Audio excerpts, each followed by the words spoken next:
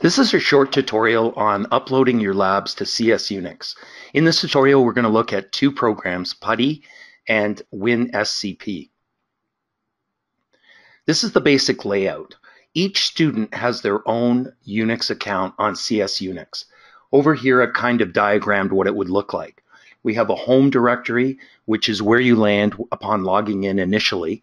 And then you have a public area for placing web pages that you want the world to see. And then you have a private area where you're going to put your labs. And the difference between the public and this private area is that you need a web password to access the private pages. The browser itself actually asks for that password. So here we have CS Unix. This is CS Unix's name. And as I mentioned, we have two passwords. Password number one is your entry into CS Unix.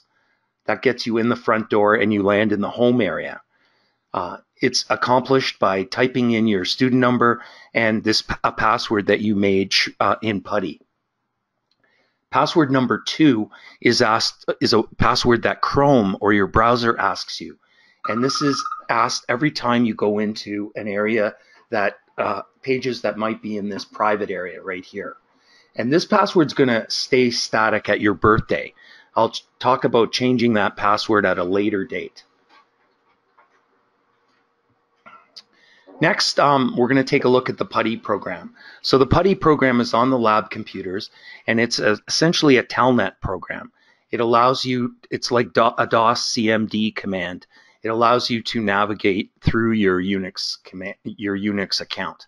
So the first thing you do is put in your um, put in your uh, csunix.mohawkcollege.ca port 22 SSH, and upon the first time, you won't see it down here. You'll have to save the session. So once you've done that, um, this is going to allow you to type in the PASSWD command, which will allow you to change password number one after, as soon as you've uh, changed password number one, you can log out of PuTTY. We're not going to be needing PuTTY again. The next program is called WinSCP. This is the one you're going to use often. So now for logging in the first time, you type the host name, csunix.mohawkcollege.ca, port 22, your student number, and the password that you just made, your password number one. Also, too, if you save the session, um, you won't have to do that next time. How, however, on the lab computers, it's not a good idea to save the session. But on your home computer, you can. Now, when you get into WinSCP, the left side are the files on your local system. So the computer you're on right now, you can navigate around and find whatever files you want to migrate to CS Unix. The right side are your CS Unix files. And you've landed here in what we call the home, your home directory, which is the blue area right here.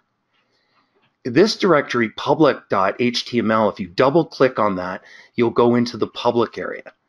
And any files you put into this public area will be able to be seen by the world. Any files in the private area, of course, you need the web password. So now I've, I've double clicked on the uh, public.html and I'm, I'm now in that area. And I don't have any files here, but if I put, for example, in class, we put the cat right in here. And uh, that's why we were able to see the cat without any passwords. Now, when you're setting up your private area, uh, if you double click on that, um, these are the URLs that are going to be applicable um, for your private area and public area the first thing is this URL here will look for a file called index.html within your public directory. And if it finds it, it will return that page, whatever index.html is. The next URL is a little more involved. Um, so in the public area, there could be a solar system directory, and then the first file might be universe.htm.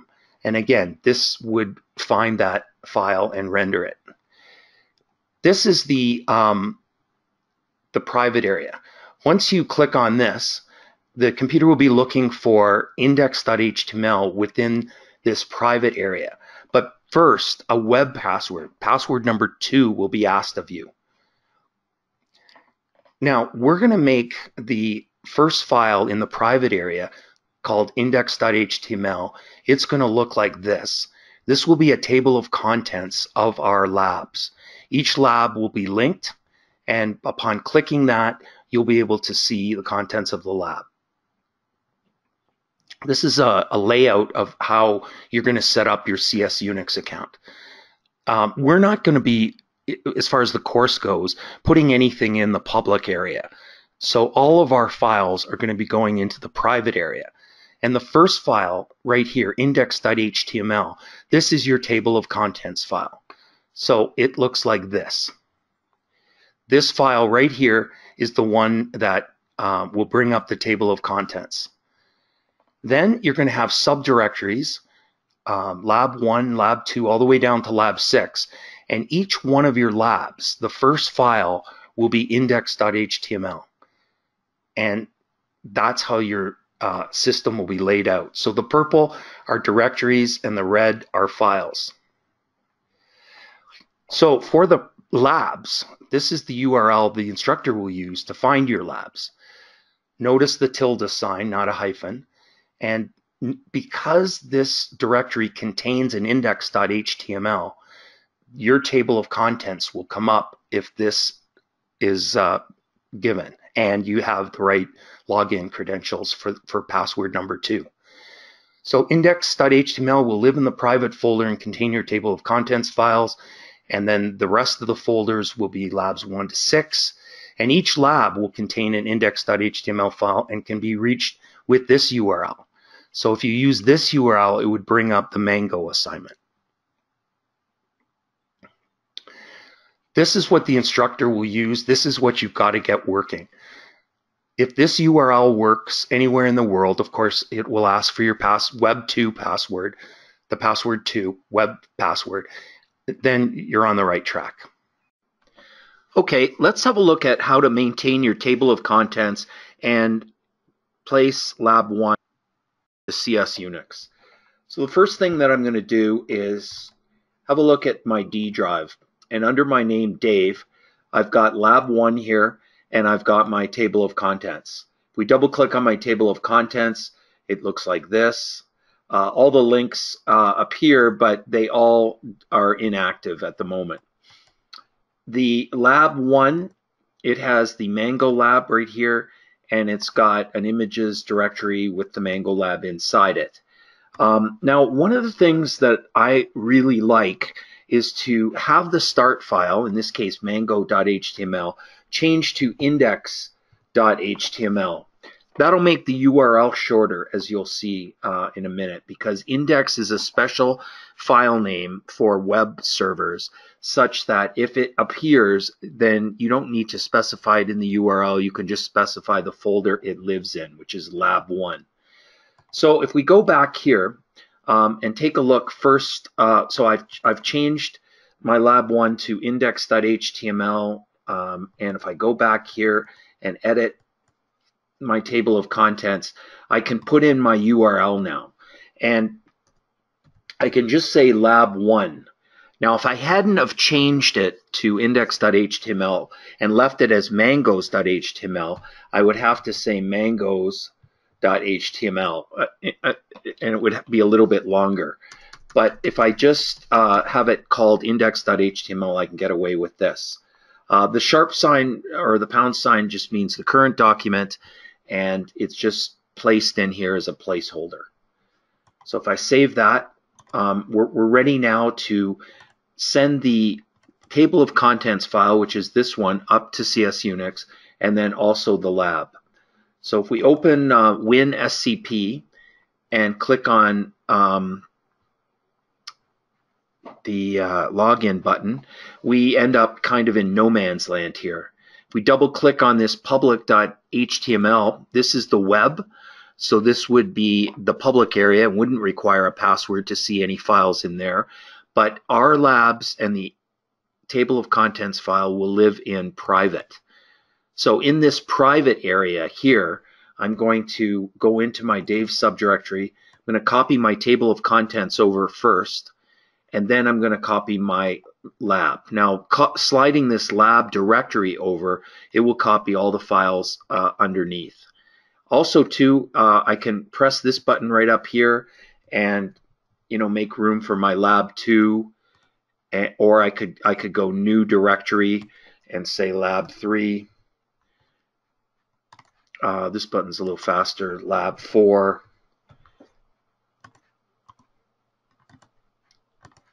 lab 5 and finally lab 6 so these labs are going to, the folders will be empty except for lab one. If we double click on lab one, we can see our first lab in here. And again, the start file is index.html. Now let's see if this is all working. So if we go to our um, Chrome, so I'm going to put my URL in here. And for you, it will be your student number instead of your last name and just the word private uh, without the index.html. If I hit enter, I'm asked for my, uh, because this is the private area, I have to authenticate. So you put your student number there and your Web2 password, which would be the uh, year, month, and day of your birthday. And so once you do that and say, okay, if you've got it correct, your table of contents comes up with this URL. Now, also, too, if you click on Lab 1, the Mango Lab comes up. And to change the size here, all I'm doing is holding Control and the wheel on the mouse, changing that. So that's how you send up a lab to CS Unix.